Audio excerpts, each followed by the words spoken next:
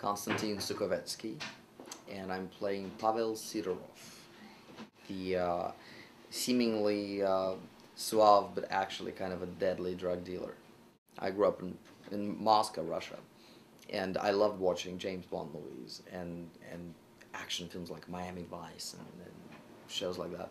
When I read the the Dishonorable Vendetta script, I just thought about them right away. Just, it was just such a throwback to good old, you know, action film with uh, the really good guys and the really bad guys and lots of drugs and lots of shooting.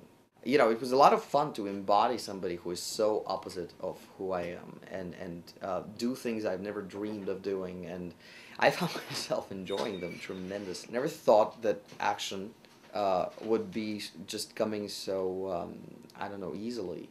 I expected to you know to, to struggle with it some more, but I always in in in my heart of hearts I always wanted to play uh, either James Bond or the bad guy in the James Bond. So I was very glad when I got to play the bad guy in Dishonorable Vendetta. The, our director Andre uh, wrote the script. I was amazed actually that a guy from Staten Island, New York, would be so thrilled with Russian mob operating in America because he made up the story, came up with all the characters, and um, you know, it's very believable. I think it's very uh, current.